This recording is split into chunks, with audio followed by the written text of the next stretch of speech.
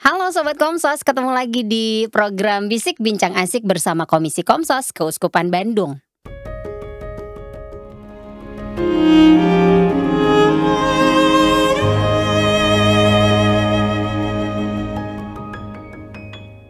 Oke, di studio Komsos sudah ada dua koko-koko, enggak nih dua bapak-bapak. Koko-koko memang. Koko ya, Koko Hari Beng, hai. Long time no see. Ih, kita terakhir ketemu di Sara loh. Mhm, Iya. Betul, betul. Kenapa kita nggak Sara lagi ya? Eh, Nanti akan. Heeh, Sandiwara Radio. Iya betul. Sutra, sutradaranya mungkin lagi bingung nulis skenario. Kita rubah sutradaranya jadi Pak Akuy. Eh, Akuy. Akyun. Akyun, Nah, ya. Ini dia. Halo Pak Akyun, Halo. selamat datang Selamat di pagi. Selamat pagi, selamat malam, selamat siang gitu ya. Tergantung yang nonton ya, Pak. Pagi supaya semangat. Oh, Iya. betul betul betul betul. Oke, ada apa ini ya? Dua eh, koko-koko ada di sini tuh Iya sama Kohari Ben deh. Heeh, Iya. Kita kan udah mengalami tahun baru 2024.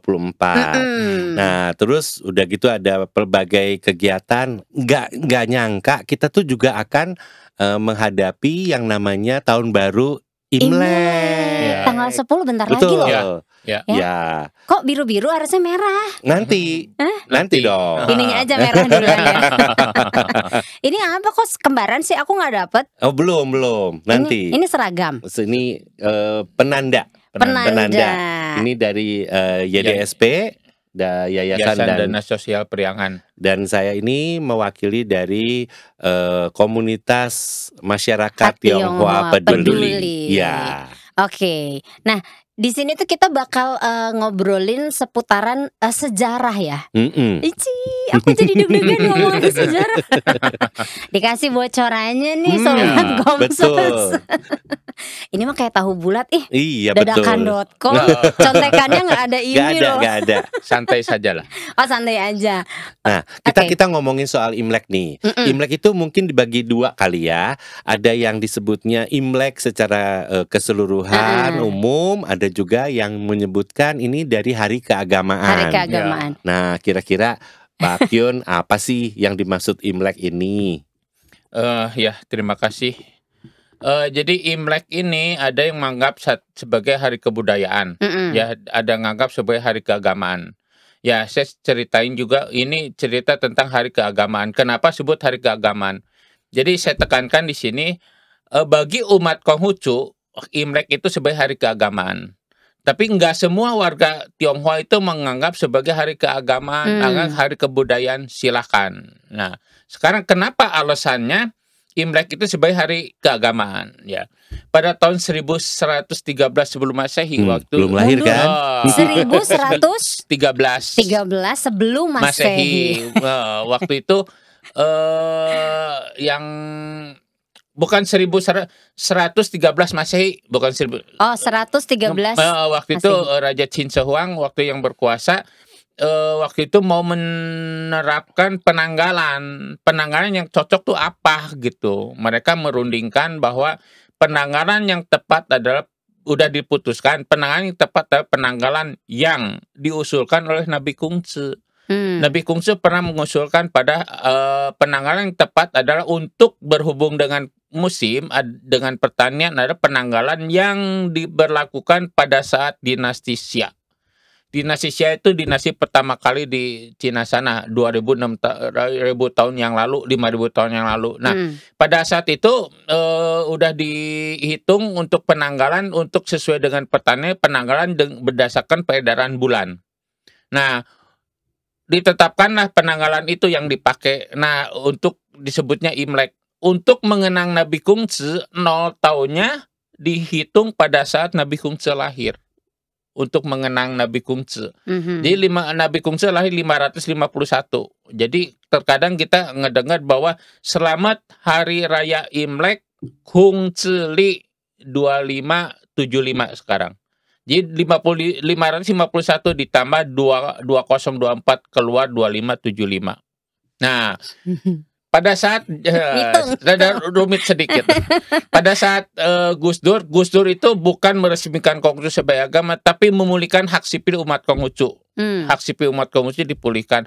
Nah, eh, setelah eh, zamannya Megawati bikin surat keputusan bahwa tanggal 1 Imlek adalah hari libur keagamaan.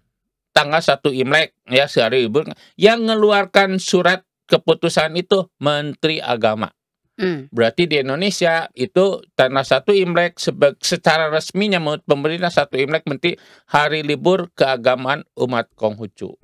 Makanya sekarang setiap Imlek libur. Iya. Hmm, iya dong. Nah, nah ada menganggapan itu sebagai bukan hari keagamaan, sebagai hari kebudayaan. Silahkan gitu. Yang saya tekankan di sini yang mengeluarkan surat keputusan Menteri Agama, bukan Menteri Kebudayaan. Tapi umat Konghucu sendiri nggak bermasalah kalau misalnya eh, yang di luar itu kita menganggapnya sebagai hari kebudayaan. Silahkan, Oh, silahkan. Karena itu memang eh, satu kebudayaan yang terus menerus dari dulu sampai sekarang itu perubahan dari musim dingin ke musim semi. Semi. oh musim dingin ke Dan- musim semi. Iya, dari dulu seperti itu. Hmm. Hmm. Dan jatuhnya itu pas hari Imlek. Imlek. Aha. Biasanya kalau Imlek itu ya yang saya tahu mah kalau di mall-mall ya ada barongsai. Iya, perayaannya, Peray- eh, perayaannya. perayaannya. Hmm. Tapi biasanya malam sebelumnya tuh kayak ini ya, kayak kumpul Kumpul keluarga, keluarga. makan gitu ya, bener ya? Heeh, jadi gini hari besar ke, saya ngomong hari besar kebudayaan lah bukan hari besar keagamannya. Hari besar kebudayaan Tionghoa selalu disimbolkan dengan makanan. Hmm, Imlek makanannya apa? Jeruk. Bukan. Oh, bukan. Jeruk juga ada. Ada Jeruk. ada ada. Aku taunya Ah. jeruk. Simbolnya ini dodol, Oh, dodol. melambangkan eh, lengket dan manis. Oh, yang bulat-bulan itu Iya. ya? Iya. Kue bulan. Bukan. Oh, beda dodol. lagi ya? Dodol, dodol. Dodol. Oh, dodol yang digoreng pakai telur Iya. Itu, itu kalau udah setahun. Oh, udah setahun. oh, gitu ada itunya kok. Nah, kalau cap pecun baca. Hmm. Kalau dalam eh, ini eh, kue bulan 15 bulan 8 terus tuh sekal ada tanggal 22 Desember itu karena puncak musim dingin disimbolkan dengan Onde. ronde supaya hangat. Oh iya, saya suka makan ronde yang ada yang gede yang isinya kacang, Iya. kalau yang kecil-kecil kosongan. Ya, gitu. Jadi di Tiongkok itu harus diingat empat musim ya, Oke. gitu. Coba sebutkan. Eh, musim dingin, musim semi, Iya, musim itu. nah, Panas itu. gugur. Ya, Eh, tapi kan gini ya.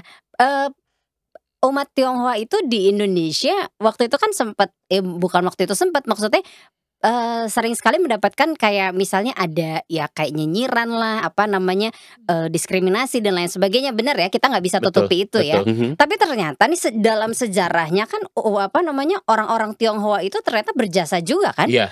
Buat Iya. negara kita Indonesia Mhm, gitu itu betul. yang mungkin tidak diketahui oleh eh, masyarakat umum gitu Betul, betul. ya Oke, kan barangkali kita mulai dari cerita tentang Kedatangan. perjalanan eh, migrasi etnis Tionghoa ke Indonesia ya. Ya. Baiklah Oke, sobat nih? pada suatu hari. Nah, Oh, itu dia. gitu ya. Silakan. Ya Pak. sebetulnya datang ke sini udah ribuan tahun yang lalu. Eh, kalau yang tercatat di museum itu eh, dari zamannya 200 200 sebelum masehi. Sebenarnya sebelumnya udah ada. Jadi eh, di Eh, sebentar saya potong. Tadi dibilang museum. Emang Hmm. ada museumnya ini? ada museum Ini ya? Tionghoa, Mu- Ya. Museum Ini ya? Tionghoa Museum Tionghoa Yayasan dan Nasional Periangan. Ini ada di Di Jalan Jalan Nana Rohana. Nana Rohana, Oh, lantai dua. Ya. Lantai dua. Oke, silahkan dilanjutkan. Soalnya nanti so- sobat Komsos bingung ah museum kapan kita ngomongin museumnya gitu kan? Tapi sebelumnya saya bicara dulu tentang YDSP ya. Eh, oh ya. Ya, YDSP didirikan pada tahun 1976. Jadi 78 baru ada didirikan bangunannya. Jadi Belum lahir juga. Oh, Belum. pada saat itu eh, kalau orang Tionghoa mengumpul lebih dari 5-6 orang tuh digerebek Harus lapor polisi. sospol. Hmm. Nah, pada itu pada saat itu namanya Pak, Pak Surya Wijaya meninisiatif bikin yayasan namanya Yayasan Dana Sosial Priangan.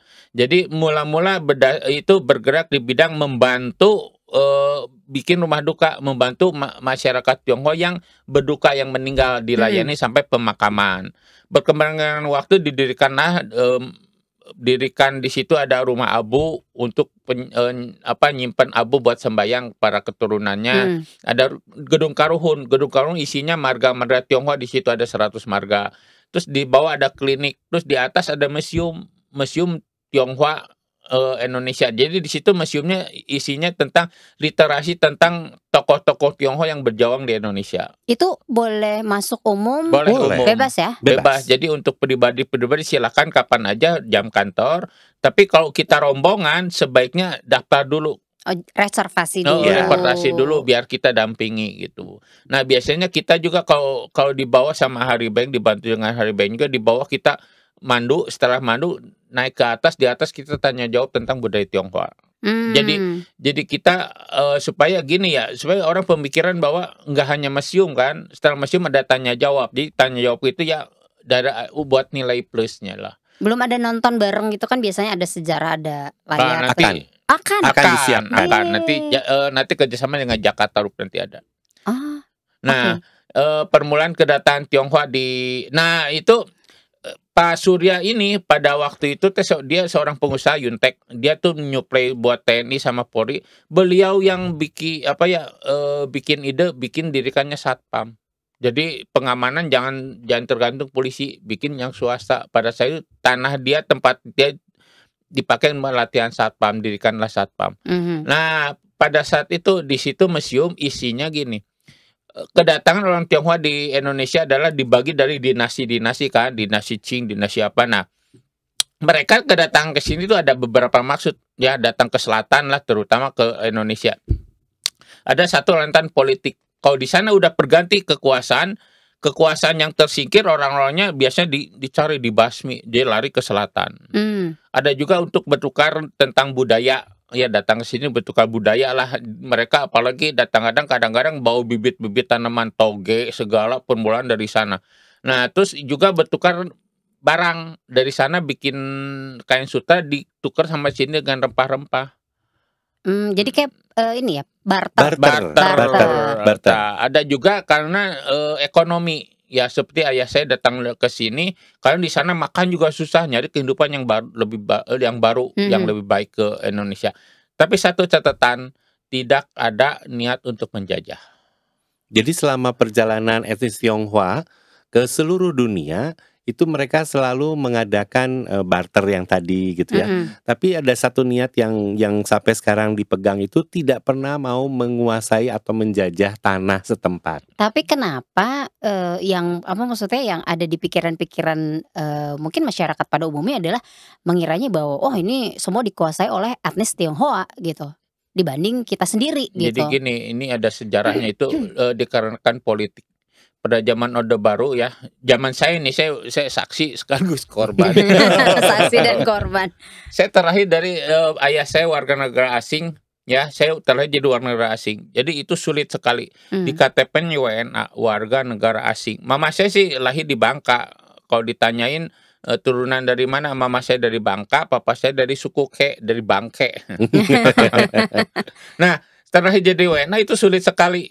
Eh, waktu itu mau mau jadi TNI boro-boro Eh, Nggak. ASN boro-boro sekolah Mm-mm. boro-boro nggak bisa ya segala itu dibatasi gitu ya karena ada eh, in eh, Inpres nomor 14 tahun 67 membatasi eh, kebudayaan Tionghoa sama Konghucu nggak boleh beredar. Hmm. Sebenarnya Konghucu itu di PP nomor 5 tahun 49 itu merupakan salah satu agama di Indonesia udah resmi waktu itu. Nah, waktu itu sulit sekali mau apa-apapun. Jadi orang Tionghoa boro-boro jadi kolonel, jadi tentara RT RW juga nggak ada, nggak ada yang berani. Hmm. Nah, waktu itu mau nggak mau apa? Usaha. Dagang. Kerja, dagang. Bayangkan papa saya datang ke sini dengan apa ya? Berapa pasang pakaian mau nggak mau kerja. Ya, Mm-mm. jadi dagang akhirnya. Jadi udah banyaknya dagang terus ada peraturan juga pada saya itu peraturan yang sebetulnya menguntungkan orang Tionghoa. Jadi pada tahun 50-an itu eh, 50 hampir 60 itu ada peraturan bahwa orang Tionghoa nggak boleh hidup di kabupaten. di desa. Nggak Oh. boleh tinggal di desa, harus tinggal Why? di kota. Oke. Ya enak dong. Aha. Nah, satu kedua Belanda itu mem, mem, mem- mem- membikin kelas-kelas. Jadi kelas yang paling tinggi nomor satu tuh timur jauh. eh, ini kan Eropa. Mm-mm. Yang kedua timur jauh.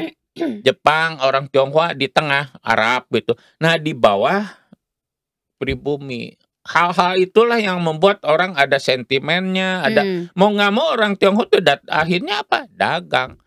Tapi jangan jangan salah orang Tionghoa juga intelektualnya banyak, Mhm. Pem- orang pemikir orang sekolahan juga banyak. Iya tapi yang harus diketahui oleh kita juga sekarang nih ya eh, bahwa orang-orang etnis Tionghoa juga berjasa bagi yang tadi ya kita Iya. sempat Hmm. singgung adalah bangsa dan negara Iya. gitu. ternyata ada juga pahlawan-pahlawan Ya. eh, dari etnis Tionghoa Ya. kan, Banyak. gitu. banyak. Di permulaan gini kedatangan Cheng Ho ya. Cheng Ho itu seorang muslim. Siap. Oke, siapa itu Cheng Ho? 1400-an. Nah, 1400-an. Beliau ini seorang muslim ya. Beliau ini seorang yang eh, pinter, jenius lah. Pada saat itu memang kalau seseorang yang pinter sama raja itu direkrut Hmm. supaya mengabdi pada raja dia dikebiri. Cheng Ho itu dikebiri. Jadi nggak nggak mikirin keluarga. Nah, Cheng Ho ini dapat tugas kekaisaran. Eh, itu ekspedisi kekaisaran datang ke selatan itu bawa armada. Ya, sekali berangkat bawa sampaikan ke puluhan puluhan perahu. Perahunya jauh 8 10 kali lebih besar di perahunya Columbus. Kali datang kira sampai 20 ribu sampai 30 ribu sekali datang. Hmm. kali menjelajah ya. Itu sampai tujuh kali perjalanan. Nah dan perjalanan itu biasa bertukar budaya bertukar berdagang. Nah eh turunan-turunan dari sana bukan turunan anak buah anak buahnya itu banyak yang tetap tinggal di Indonesia. Nggak balik lagi ke, ke Tiongkok sana. Dan mereka kan Muslim. Mm-mm. sekalian mereka itu dengan tidak langsung menyebarkan agama Islam di Pulau Jawa dan Hmm. sampai seluruh Indonesia. Nah, jadi kalau mau jujur ada peran Tionghoa dalam penyebaran agama Islam di Indonesia. Hmm. Nah ini di museum ini ada semua ya? Ada, Ada, Ada ada, semua. Mm-mm. ada. Literasinya ada. lengkap. Literasinya ada. Nah ini sebenarnya tujuannya didirikan museum ini tuh apa sih? Tujuan Pak. museum itu men- menedukasi masyarakat bahwa nih ada peran-peran orang Tionghoa dalam kemerdekaan Indonesia dari perjuangan Indonesia dari zaman dulu sampai sekarang. Udah seberapa banyak yang tahu masyarakat Bandung lah terutama ya nggak usah Indonesia kan adanya di Bandung gitu. Banyak Saya baru tahu ada museum. Kok Beng Beng kenapa nggak pernah ngasih tahu? Oh, Nggak pernah iya. ngajak-ngajak. banyak rahasianya dia. Oh, Tapi udah banyak sekarang kali eh, saya sama Hari Peng itu jadi juga bertugas di sana untuk eh, memandu ya. Mm. Biasanya dalam sebulan ada bisa dua tiga kali yang berkunjung sekali kunjungan ada 50 sampai 100. Mm-mm. Nah, salah satu juga yang ada sejarah kelam bagi umat eh, Tionghoa ba- bagi bagi orang Tionghoa pada tahun 1740 ada perang kuning. Apa tuh perang kuning? Nah, di Batavia pada saat itu eh, di Jakarta disebut Sungai Angke kan. Mm-mm. Ang itu merah, ke itu eh, sungai. Itu tuh darah semua, tulang belulang darah semua orang Tionghoa. Karena pada saat itu eh, Belanda melihat orang jumlah orang Tionghoa udah signifikan, udah banyak sekali. Dia takut orang Tionghoa itu ngeberontak. Kalau orang Tionghoa ngeberontak ke Belanda, Belanda tahu kalah lebih jauh Hmm. jauh pasti kalah. Sebelum orang Tionghoa takut ngeberontak, Belanda membasmi orang Tionghoa belasan ribu di situ dibasmi. Nah sebagian tokoh-tokoh itu lari ke Rembang, ke ke Lasem, Lasem, gituan. Semarang. Nah tokoh-tokoh itu berusaha untuk kerjasama dengan eh, raja-raja setempat, masyarakat setempat, Mm-mm. katakanlah dengan pribumi setempat untuk ngelawan Belanda. Mhm. Tapi kalau rencana itu berhasil, sejarah akan berubah. Tapi konon katanya dari eh, Tionghoa dan pribumi ada yang berkhianat. Lapor lagi ke Belanda, Belanda ngebasmi lagi orang Tionghoa. Hmm. 1740 perang kuning. Wah ini mah benar-benar eh, sejarah ya. Kita kupas tuntas gitu kan.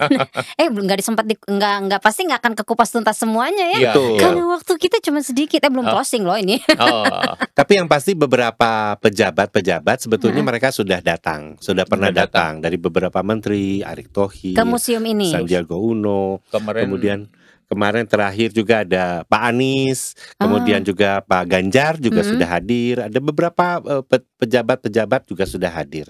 Dan mereka juga eh, antusias, kemudian juga dari beberapa sekolah juga sudah hadir gitu. Oh, ini kalau misalnya dari sekolah-sekolah itu kerjasama nggak sih? Misalnya, Enggak. ayo eh, misalnya datang gitu untuk mengunjungi museum. Kalau dulu mah kan zaman-zaman aku ke geologi, Ke geologi. ya kita ya. Iya, gitu. iya, iya.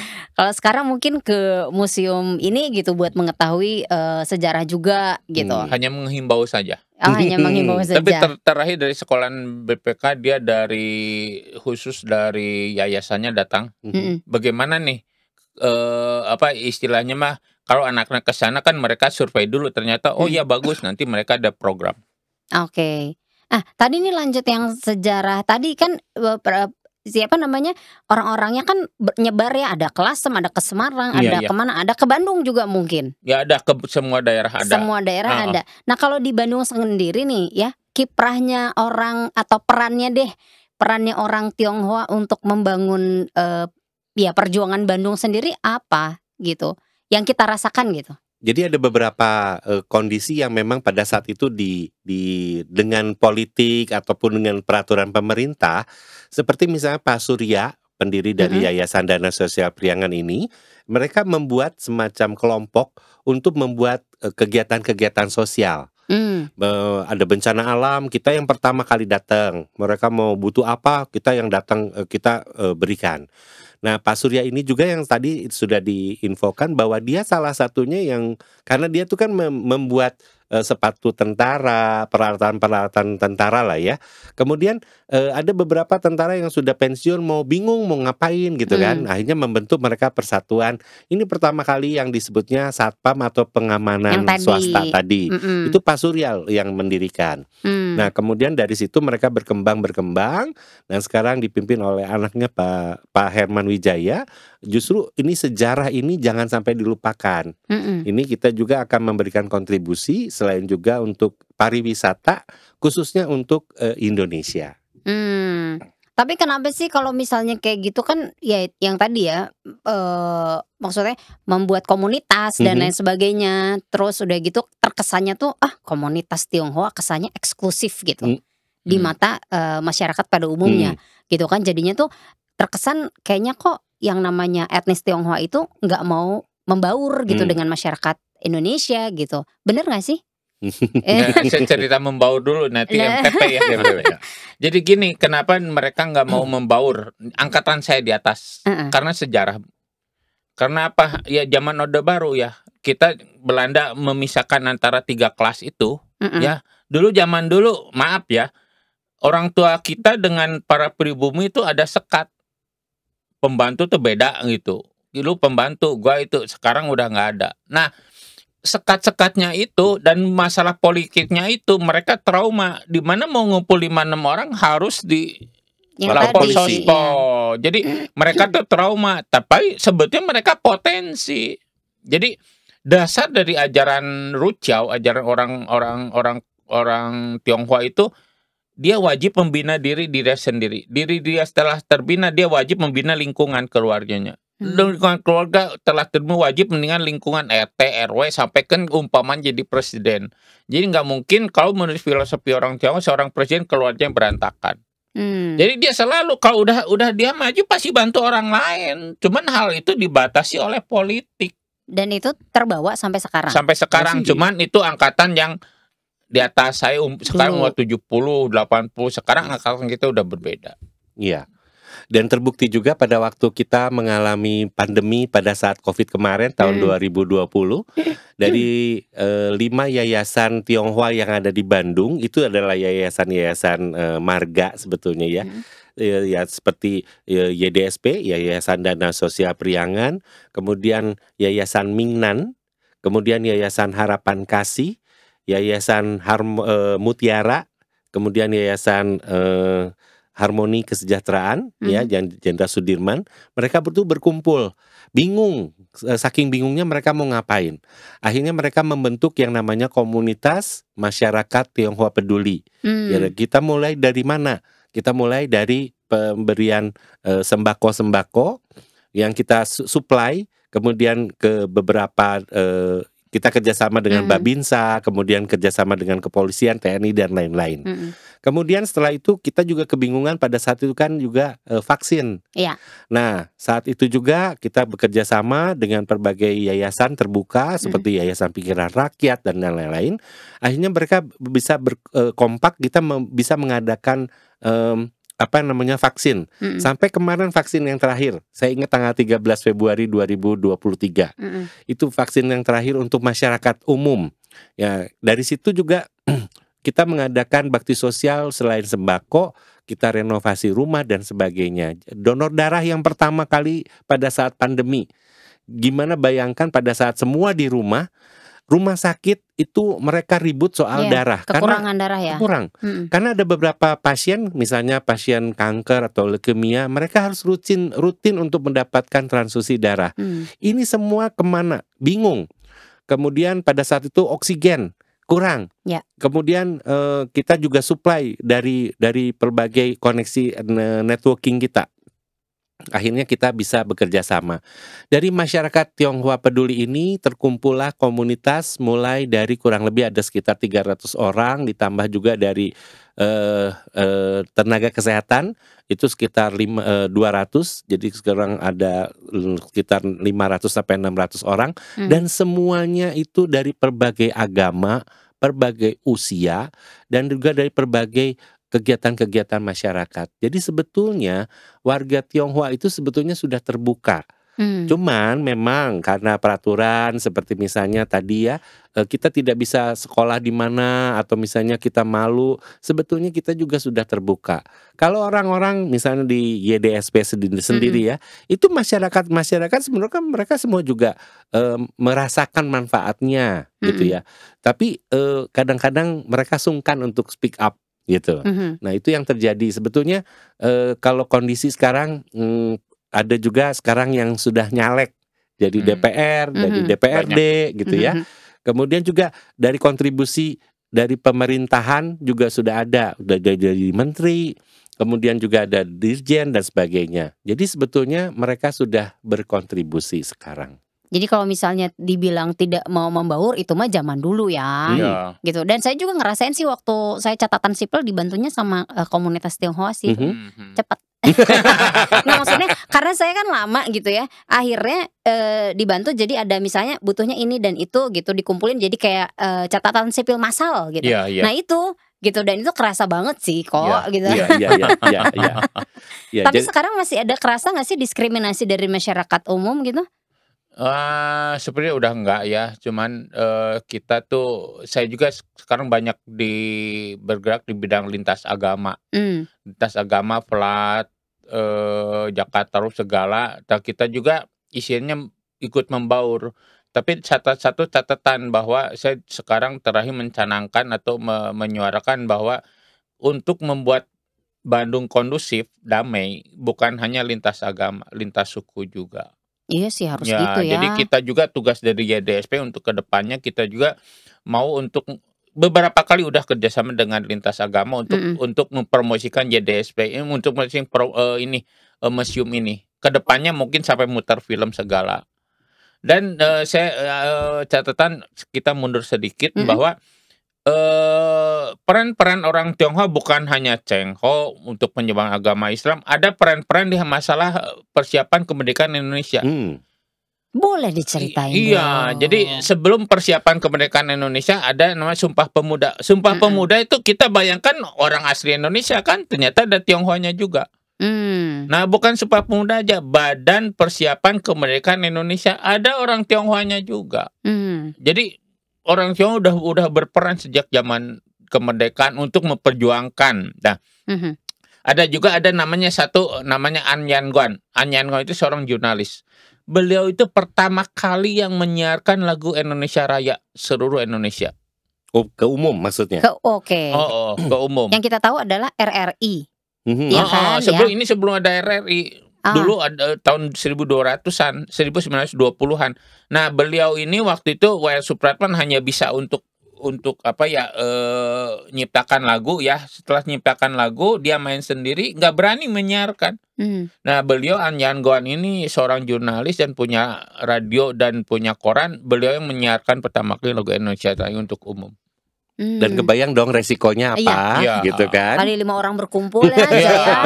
Terus udah gitu tiba-tiba ini di tahun yang di ke mundur ke belakangnya menyiarkan Iya. gitu. Ya, ada juga namanya Jauh Kisyong. Hmm. Jauh Kisyong nih rangkas dengklok di di Kerawang. Beliau ini yang menyiapkan atau menyi- eh, apa eh, memberi Fasilitas rumahnya rumah. fasilitas rumahnya untuk pensembunyian Soekarno Hatta. Waktu Hmm. itu sebelum kemerdekaan Indonesia beberapa hari sebelum kemerdekaan Indonesia beliau kan Soekarno Hatta di Uber-Uber yang berani eh, memfasilitasi rumahnya untuk pensembunyian Soekarno Hatta Jauh Kisyong. Jadi waktu itu sebelum kemerdekaan Indonesia mereka rapat di rumah Jauh Kisyong ini. Hmm. Lalu dua hari kemudian dipromosikan kemerdekaan Indonesia Raya. Itu sekarang masih ada di Rangkas Dengklok Museum. Jadi bikin museum rumah Jauh Kisyong. Rangkas Dengklok tuh lumayan jauh ya. ya supaya nggak dicari Belanda.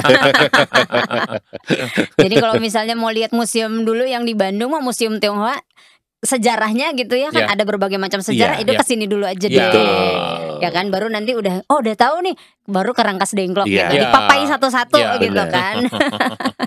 nah, kalau tadi eh, Ko Akin bilang bahwa eh, kalau misalnya mau bersatu bukan hanya masyarakat Tionghoa tapi semuanya yuk dari suku Ya. dari suku ras dan agama kita bersatu semua Iya. gitu.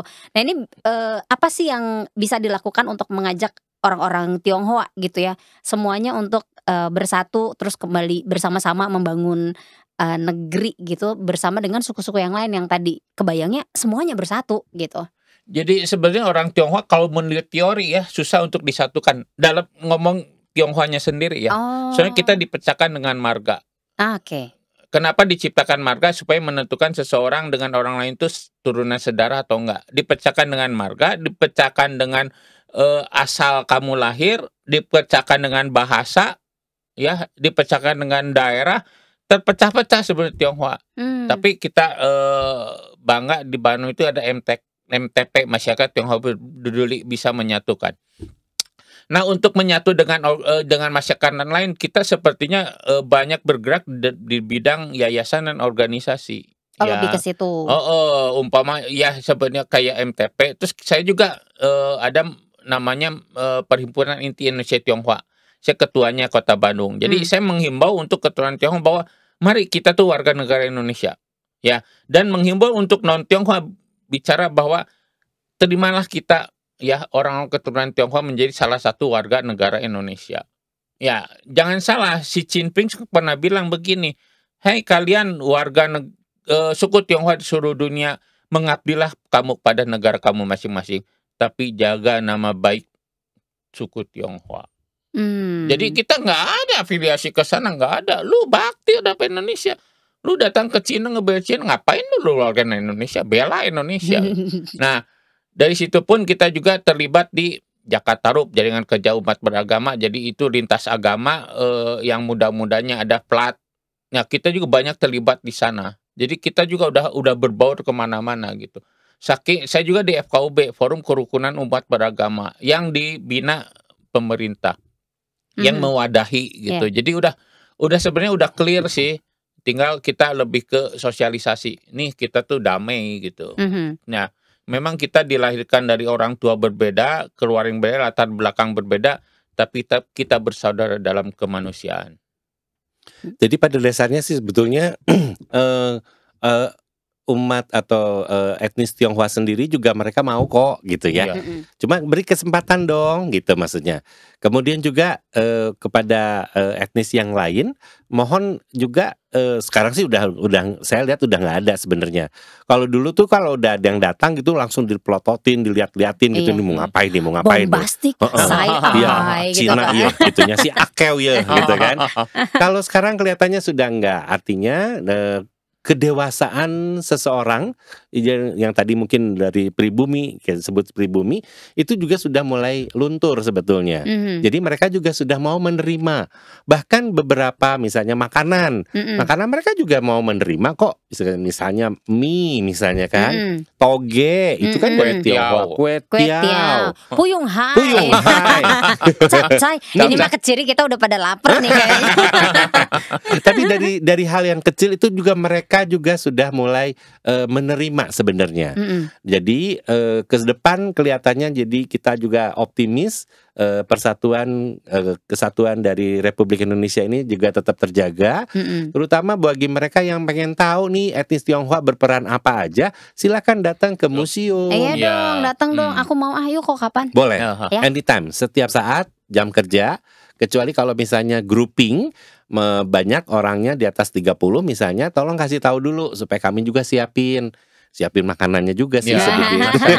Emang ada makanannya? Ada Snack sedikit lah camilan. Tapi enak snack. Dodol. Terkenal juga. Langsung ya, dodol. Tergantung session. Oh tergantung sih. Kan kalau mau Imlek ini kan dodol ya. Iya. Gitu, bisa. Nanti mungkin eh, juga ada kue bulan, bacang misalnya Iya. nanti. Aku mau request bacang aja ya. Oh, Pak. iya, Eh, iya, ingat boleh. aku bacang. ada ada satu lagi kalau kalau saya lupa eh, pendiri ITB siapa? Hmm. Coba. Ah, tuh ikan perjanjiannya nggak ada pertanyaan. Ada. Kenapa aku ditanya, Kevin? Pendiri ITB? Nah, Om langsung Steph, Om searching, Steph. langsung searching, langsung Siapa searching. siapa? Pak? Yang mendirikan ITB Tionghoa tiga orang. Salah Hmm. satunya Pua Keng Hek. Poa Keng Keng Hek. Hek. Nah, beliau ini sepertinya buyutnya sekarang yang bosnya Sumarekon.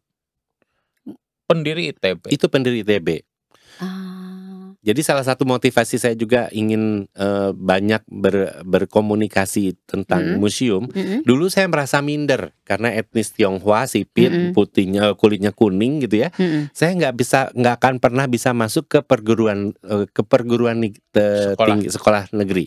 Mm-mm. Kenapa? Kan gitu kan? Karena saya etnis Tionghoa selalu di eh, di apa istilahnya mah digencet lah ya gitu. Mm-mm. Tapi setelah tahu bahwa ternyata salah satu pendiri ITB adalah orang etnis Tionghoa, saya merasa sedih. Kenapa saya lahir nggak zaman sekarang? Pengen gitu loh. Dan ternyata ada beberapa hal yang memang itu secara politik gitu loh. Yuk sekarang sama-sama kita bangun negeri ini supaya lebih baik lagi ke depan. yang bangun gedung Merdeka, Hmm. eh, Waduk Jatiluhur, Sukamiskin, eh, itu Tionghoa Anemer. Jadi waktu itu Belanda meninggalkan beberapa proyek. Mm. Jadi yang ana namanya Lim Agoh, seorang Anemer, dia yang ngebangun Jatiluhur, Hmm. Gedung Merdeka, Sukamiskin. Gedung Eh. DPR pun yang ngedesain yang ngebangun Tionghoa Viaduct. yang awal. Ya, oh ya Ya, viaduct. viaduct, Trinitas. Itu Bapak Limago itu tinggalnya di Jalan Sunia Raja loh. Oke, berarti jangan ada nyinyir-nyinyiran lagi, Bo. Ih, apa Hmm. sih kontribusi masyarakat Tionghoa kepada Indonesia atau Bandung gitu Iya. ya?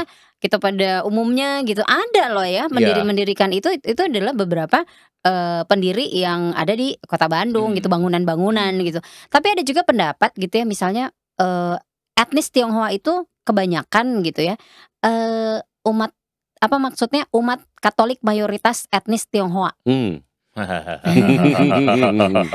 Ada sejarahnya. Oh, eh, ketawanya beda. Oh.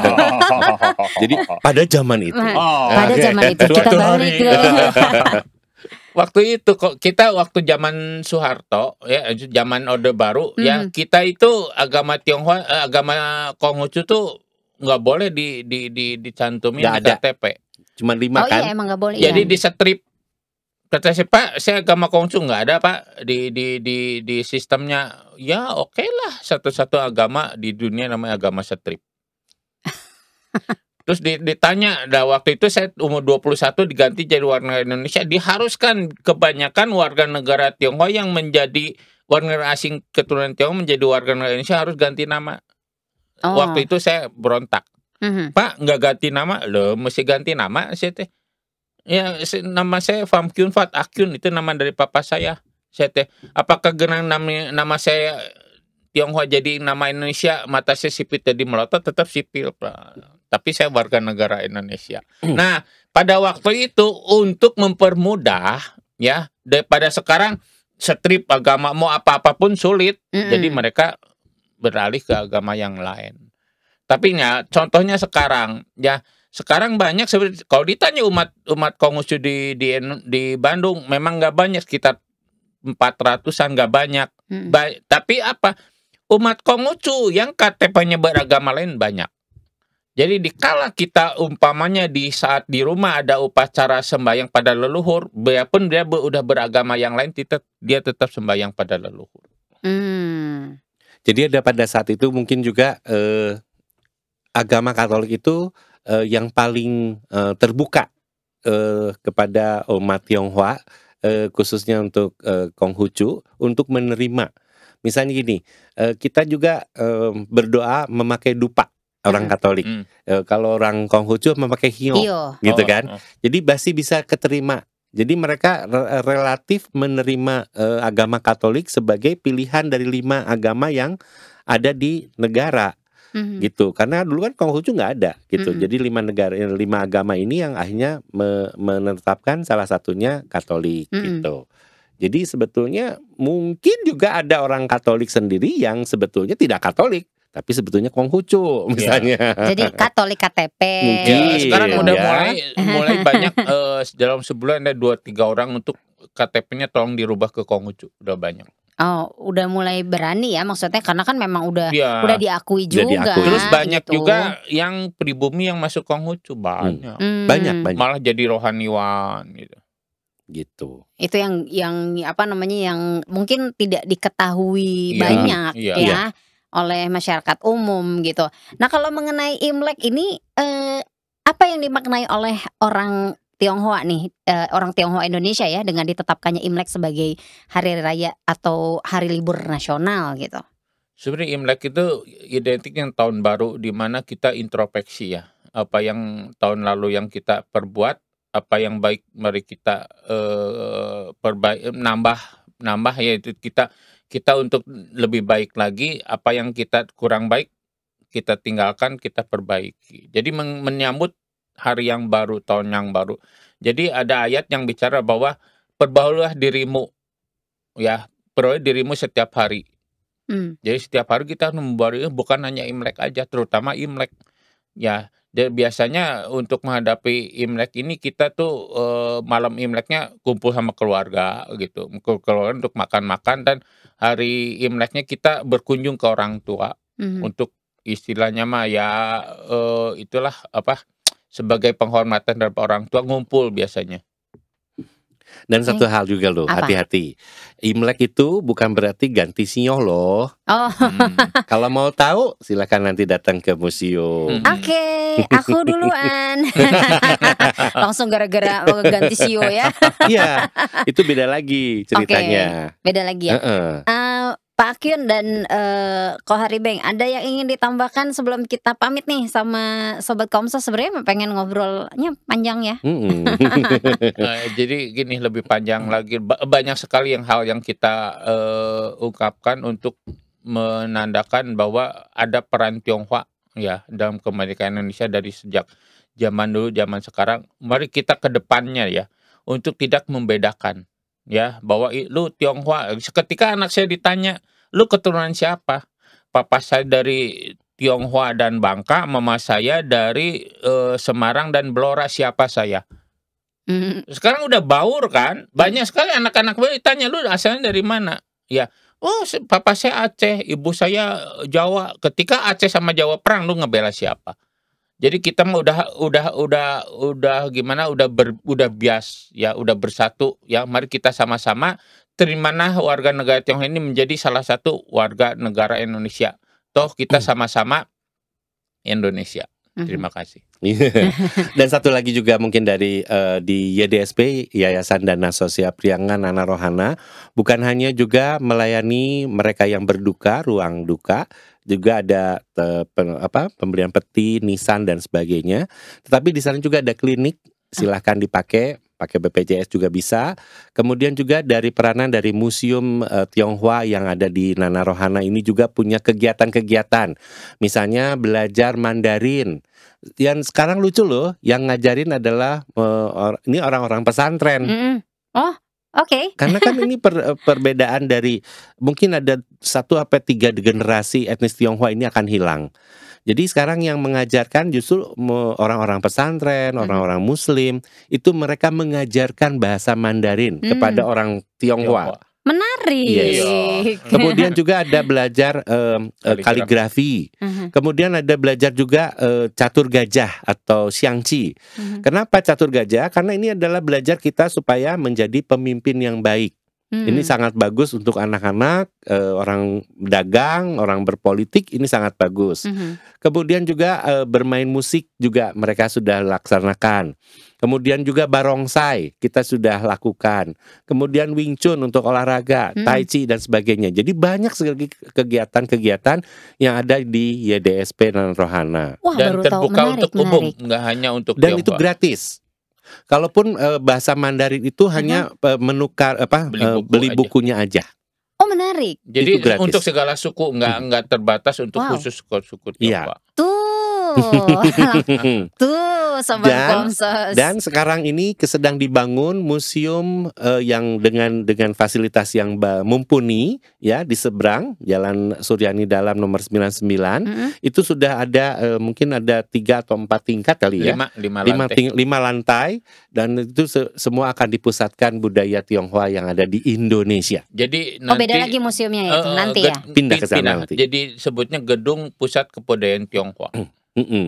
Oke. Jadi kalau punya artefak, punya sejarah, buku, duit, gitu ya, Oh. mungkin mau nyumbang juga silakan. Terutama Hmm. kalau memang eh, leluhurnya atau kakek neneknya Tionghoa yang pejuang, silakan kita eh, laporkan ke YDSP supaya kita tampilkan. Ya. Oh. Tapi tentunya juga diverifikasi juga Ya. gitu loh. Siap, siap. Ini menarik, menarik, menarik. Benar ya? Nggak cukup cuman sekitar Hmm, 50 menit kita ngobrol atau berapa? Bersambung. Bersambung.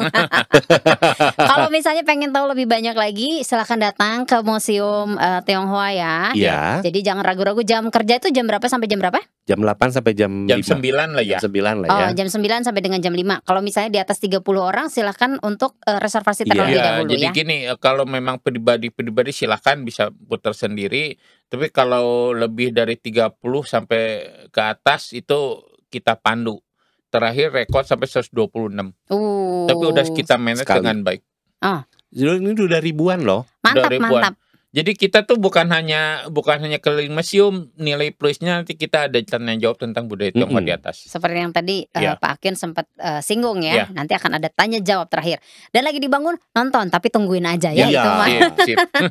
Kita pamit ya sama Terima Sobat kasih. Komsos. Terima Terima kasih. kasih. Yuk, yuk, Terima kasih Pak Yuk. Yun. Gong si Choi Sinyen Koile. Iya. Iya kan? Oke kalau gitu Sobat Komsos terima kasih sudah menyaksikan episode Bisik kali ini. Aduh seru banget ya obrolannya. Yuk kita sama-sama bareng-bareng ke museum yuk. Rame nih pasti bakalan seru banget kita mengetahui budaya eh, Tionghoa ya. Oke kalau gitu kita pamit kita ketemu lagi di episode Bisik selanjutnya. Dadah. Nah,